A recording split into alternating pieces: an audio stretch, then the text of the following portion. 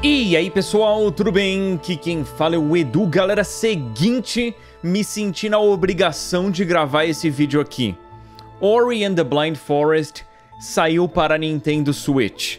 Esse aqui é um jogo desenvolvido por um estúdio da Microsoft. Ele foi lançado a princípio para Xbox One, depois saiu para PC e agora está disponível também para Switch.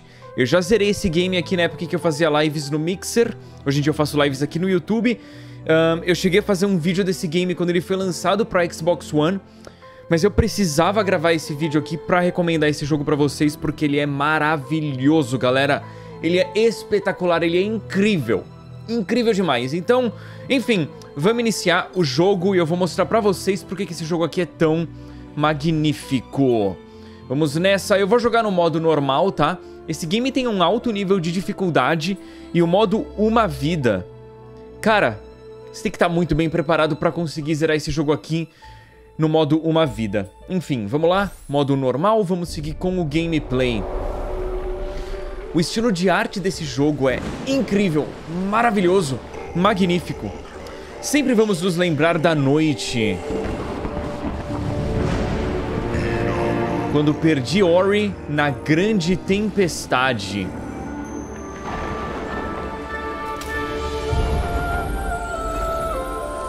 Trilha sonora linda demais, linda demais. Talvez seja a minha trilha sonora favorita de todos os tempos de um game. Uma decepção minha não ter o vinil, a trilha sonora do game em vinil.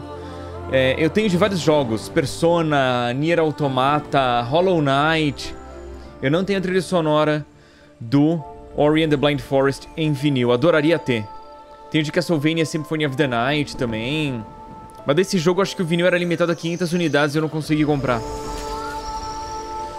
Mas enfim, vamos curtir, vamos apreciar porque esse jogo aqui é uma obra de arte, galera. Obra de arte. Beleza? Primeiro personagem que a gente controla não é o Ori, esse aqui é o Naru. Estamos no ninho das andorinhas. Apreciem o visual desse jogo, apreciem a trilha sonora, os efeitos sonoros. Nossa. E quando entrar no gameplay, apreciem o gameplay também, porque isso aqui é magnífico. Magnífico demais. Difícil botar em palavras a qualidade absurda desse jogo. Quando Naru abraçou minha luz,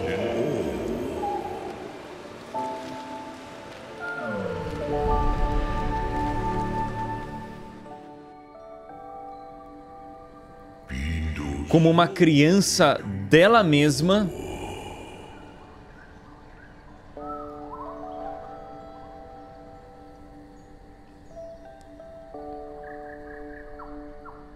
Lindo demais.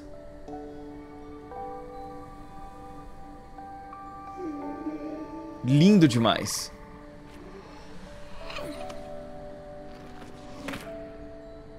Beleza.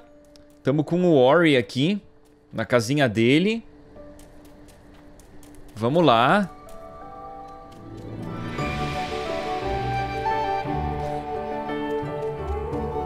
Essa música é muito linda. Ah, eu já fiz um cover na batera de, de Ori and the Blind Forest. Pra quem quiser conferir, recomendo, hein?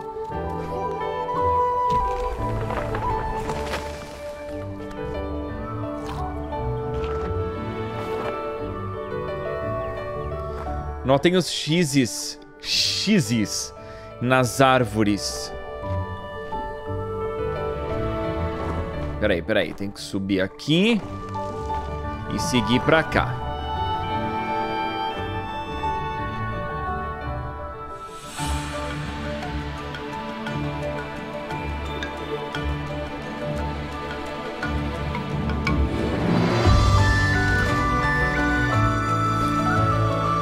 Na moral, não tem como não se emocionar com essa música. Ela é muito linda.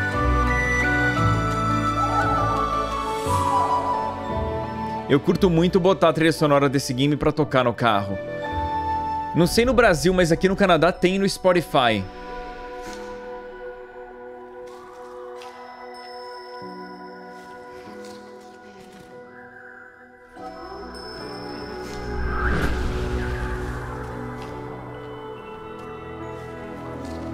Voltar. Ah, vai ter uma continuação. Peraí, vamos lá. Naquela noite decisiva...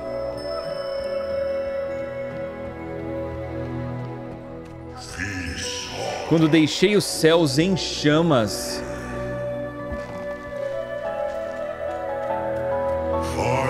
Gritei para chamar Ori.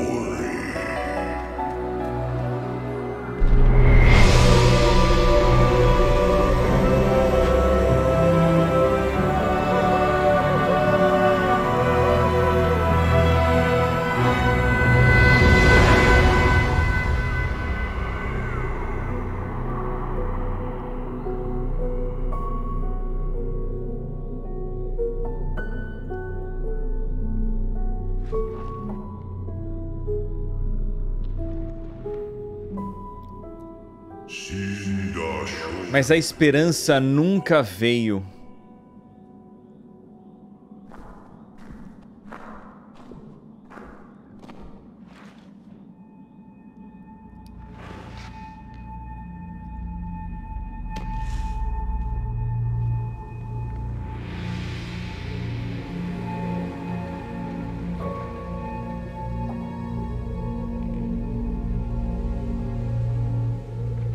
Meu, que dó, né?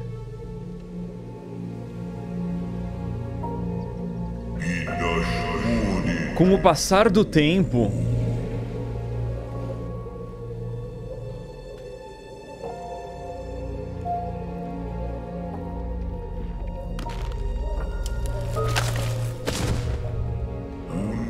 A vida se tornou frágil e decadente.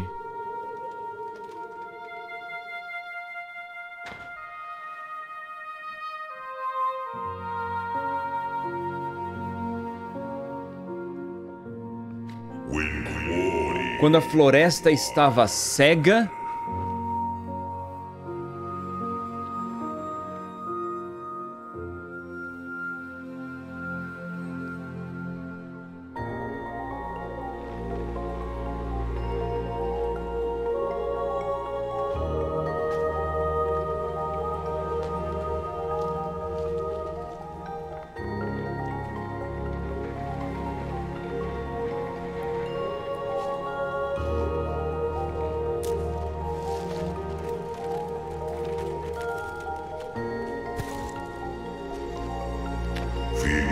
A esperança ainda mostrou o seu rosto.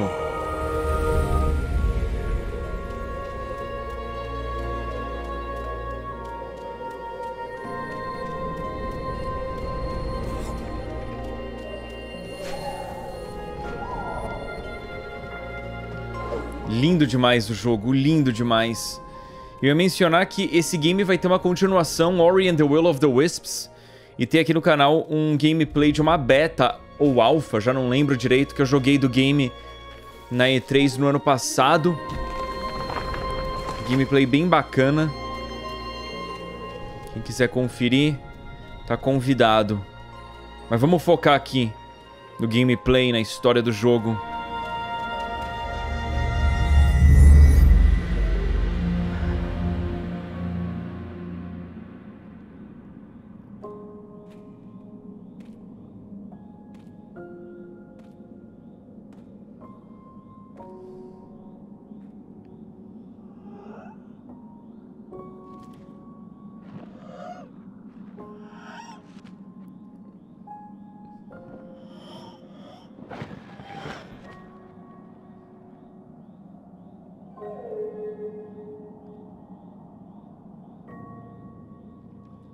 Tipo, o jogo tenta quebrar o nosso coração logo de cara, sabe?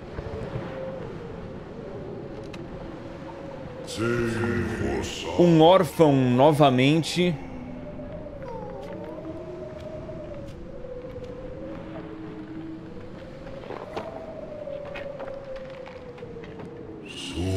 Sem razão para ficar.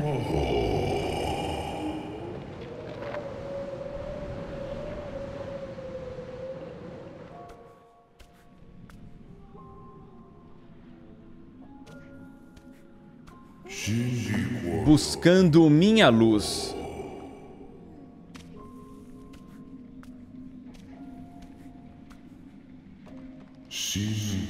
Tão fraco e tão frágil.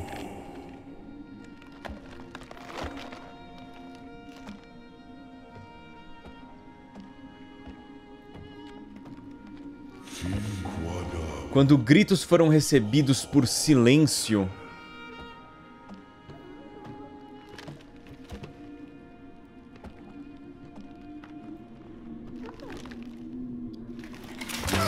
e a esperança se perdeu.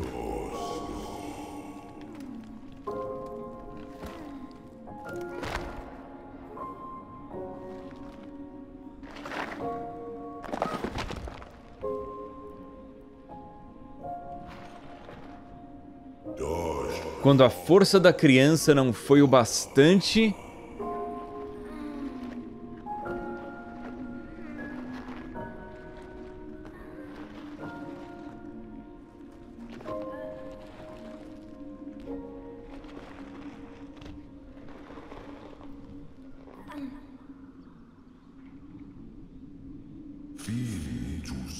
último suspiro foi dado.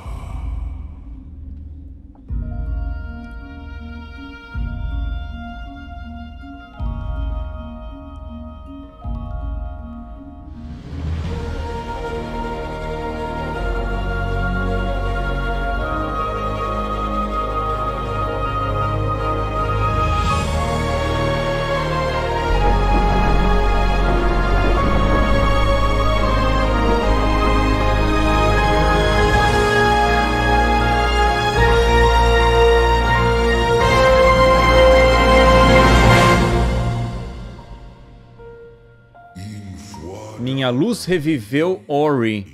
Uma nova era nasceu.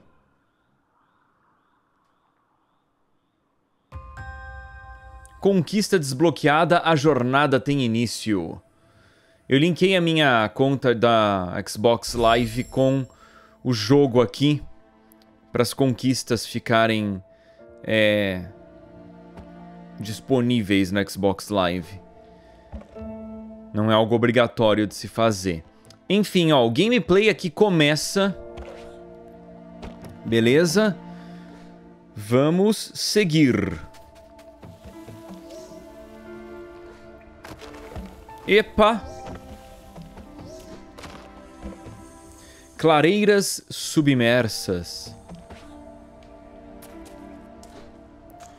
Não lembro exatamente o caminho que a gente deve seguir. Segure para baixo e pressione B para pular pelas plataformas, mas tem algo ali, né? Você encontrou um receptáculo pequeno de luz espiritual. A luz espiritual foi adicionada à sua barra. Encontre mais receptáculos de luz espiritual para ganhar pontos de habilidade. Música maravilhosa.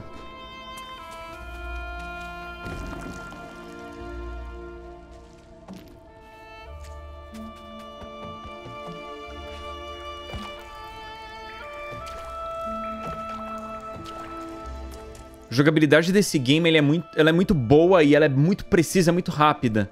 E o Ori é muito rápido, então, tipo, você mal começou a movimentar, ele já, já tá longe, sabe, de onde você começou o movimento. Você encontrou um fragmento de vida, colete-os para restaurar sua vitalidade.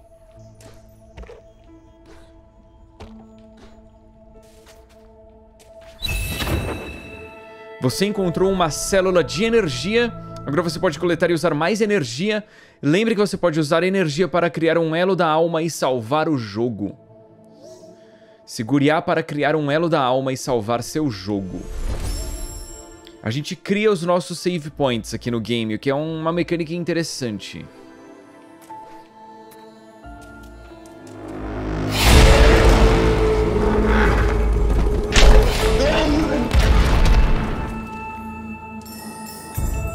Bicho foi atacar a gente e se deu mal, né? Enfim, ó, você encontrou uma luz espiritual. Quando preencher a barra, você ganhará um ponto de habilidade. Tá quase, hein? Por cima ou por baixo? Por baixo. O elo da alma está pronto. Você ganhou um ponto de habilidade. Cria um elo da alma e toque em A ao lado dele para acessar a árvore de habilidades. Aqui tá a árvore de habilidades. Experiência. Essa barra indica quanta luz espiritual Ori coletou. Absorva mais 36 para ganhar outro ponto de habilidade. Beleza. Então a gente pode pegar o reavivar. Permite usar elos da alma, reusar elos da alma e diminui o tempo de recuperação. Beleza.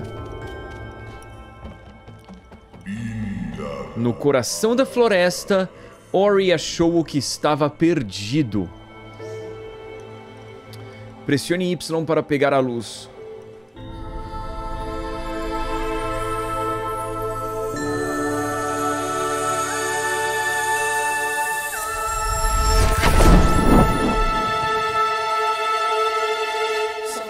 Minha força está voltando. Sou sem a luz e os olhos da árvore do espírito. Me perdi neste vale quando ela afrouxou o pulso. Posso guiar você na sua jornada se você deixar. Não se mexa. Consegue ouvir isso? Eles devem ter seguido você até aqui. Toque em Y rapidamente. Pra atacar. Meu Deus! Quase faleci.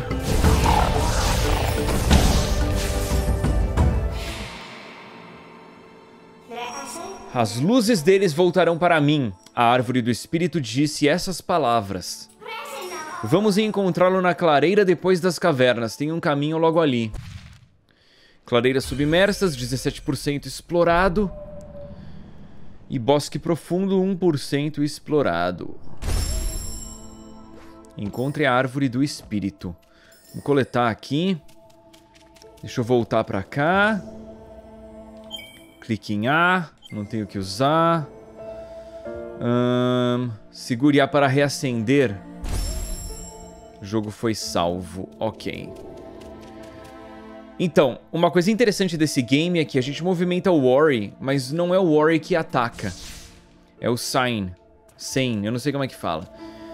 E isso dá uma dinâmica diferente de gameplay. Vamos ver o mapa.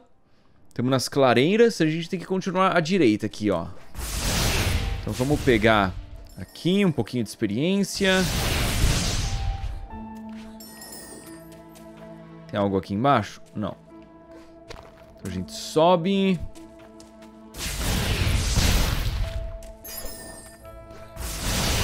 Trilha sonora incrível demais.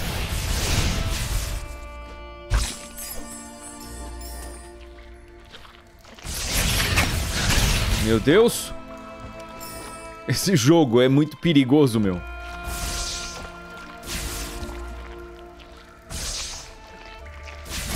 Aê! Fomos atingido, hein?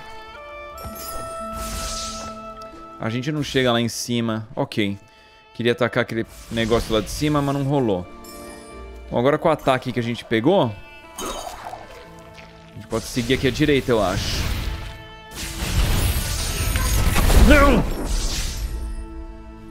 Nossa, eu tomei um dano muito à toa ali. Enfim, ganhamos um ponto de habilidade. Vamos utilizá-lo onde reagrupar. Criar um elo da alma restaura uma célula de vida. Ok, esse mesmo. E aqui temos, ó, fontes espirituais são estruturas antigas usadas para percorrer distâncias rapidamente em Nibble. Árvore de habilidades. Não, não quero ver isso. A luz de fontes espirituais também recuperam sua forma quando você sentir cansaço. A luz também recupera sua forma, tá? Beleza. Pressione Y para salvar o jogo ou X para teletransportar. Salvei, não tem como teleportar aqui, então eu não vou. Não liberamos nada ainda de teleporte, além de ali né? Então... continuar adquirindo experiência. Dá pra vir pra cá? Vamos lá. Por aqui. Ali à direita nem a pau que a gente chega. Então a gente vai seguir pela esquerda aqui.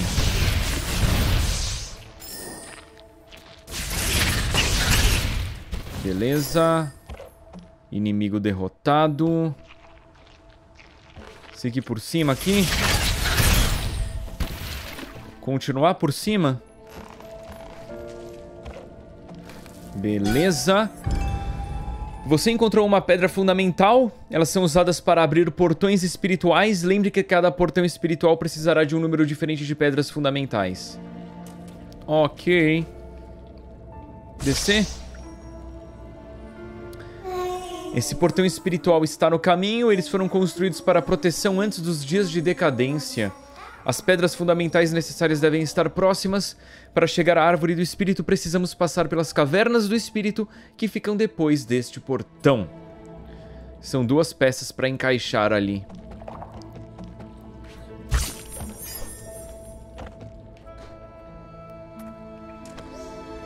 Segure ZR para agarrar e mover objetos. Espera que eu tô apertando o botão errado aí. Vamos lá. Mais uma pedra. Seguir por cima mesmo, vai.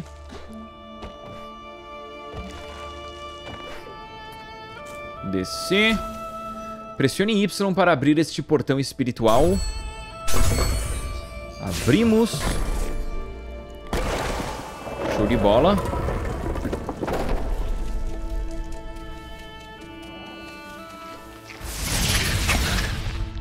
Não!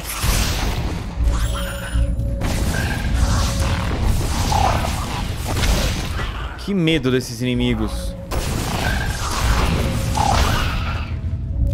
Tá, derrotamos mais um.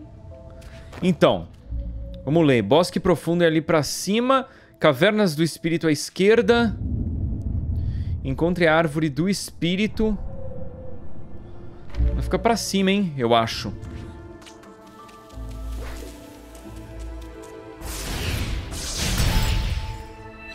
Você encontrou um fragmento de energia. Eles restauram poder para as células de energia de Ori. Tá, a gente não consegue abrir aquele caminho ainda.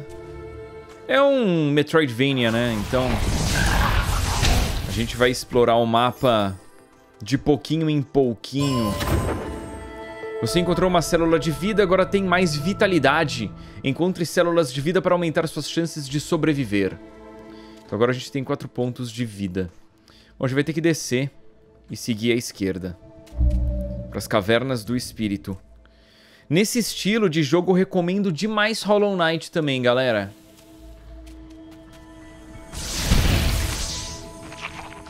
Beleza. A gente não tem como abrir aquele portão ainda. Vamos descer. Não! Salvar aqui? Ah, tem inimigo. Pera aí. Ok, o jogo foi salvo.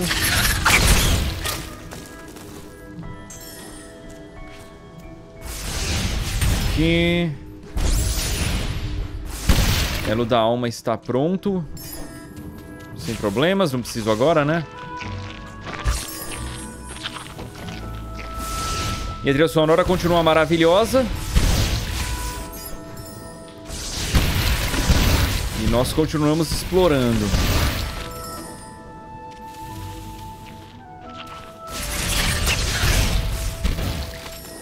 Beleza. Será que eu sigo aí? Eu, eu, eu, vou seguir a esquerda aqui, sim. Beleza. Muito bom esse jogo. Vamos empurrar isso aqui. Derrotar o inimigo. Empurramos mais. Vai, empurra. Aí, valeu, mano. Tem algo escondido à esquerda aqui? Vamos lá. Eficiência da chama de carga. Reduz pela metade o custo da chama de carga. Exige chama de carga e reagrupar. Imã espiritual. Chama rápida. Permite que você dispare três chamas antes de recarregar. Ok, esse aqui mesmo. Vamos lá. Pô, mas não dá pra subir aqui, né? E acho que a gente precisa de wall jump pra subir, hein? Então a gente volta e segue por outro caminho. Peraí, peraí, peraí. Ah, caí, eu não vou conseguir seguir pra lá. Então, definitivamente, a gente vai precisar... Eu acho que vai ser um wall jump que a gente pega. Eu me lembro que a jogabilidade desse game ela vai ficando extremamente complexa com o passar dos cenários, porque a gente adquire muitas habilidades. Muitas habilidades nesse game aqui. A jogabilidade vai ficando cada vez mais complexa, mas no bom sentido.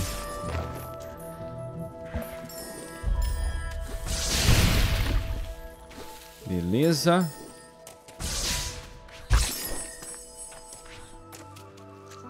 Opa.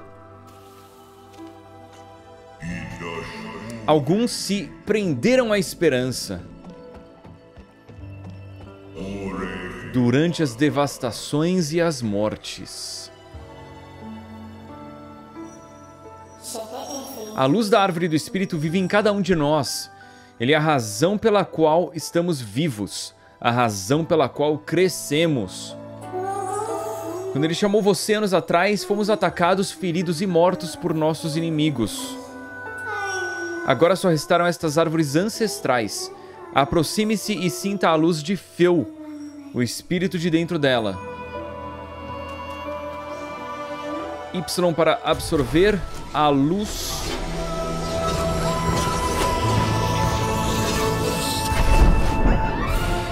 Você aprendeu o pulo na parede. Para usar essa habilidade, use o analógico em direção a uma parede e pressione B continuamente para pular para cima. Ó, hein? Show de bola. Célula de energia. E vamos seguindo. Esse tipo de jogo que não dá vontade de parar de jogar, né? É um excelente sinal isso. Vou criar um save aqui. Ai, seu burro.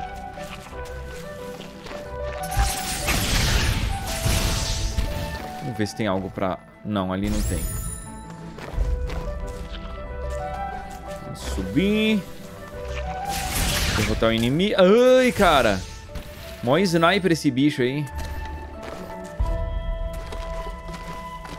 Cuidado.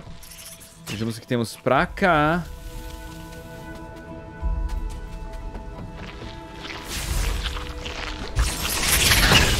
Eu acho que a gente deveria descer mais. Eu não tenho certeza, mas eu acho que tem que descer mais. A gente já passou por aqui antes, né? Descer mais. Antes vamos pegar o que tem aqui. Nem precisava, né?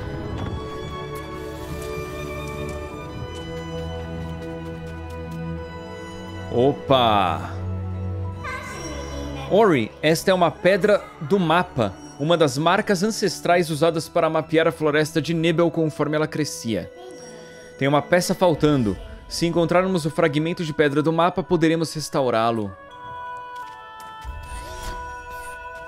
Bom, a gente não tem, né? Opa! Ali não tem como chegar ainda. Ah, a gente pegou outro tipo de pedra. Ok. Bom, obviamente, nós desbloqueamos uma forma nova de movimentação e isso vai nos permitir explorar locais diferentes, né? Ó, a gente não vai conseguir abrir ainda porque a gente só tem uma peça e a gente precisa de duas.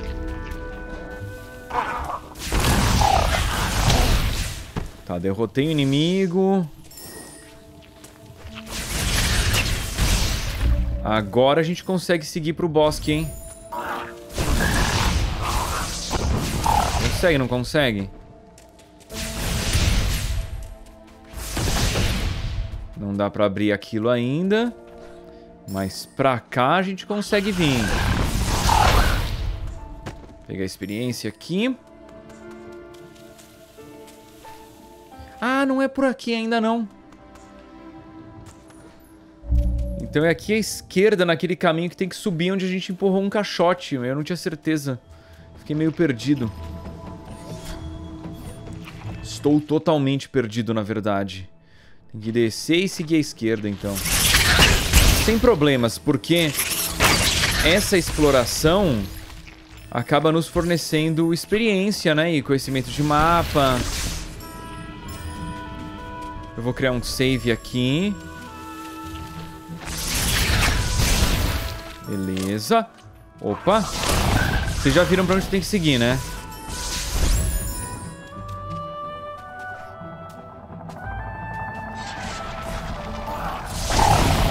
Morre, mano. Beleza. Gente vai seguir pra cá, ó. Eu vou criar um save. O que é bom porque agora, quando a gente cria o local de save, a gente recupera a vida.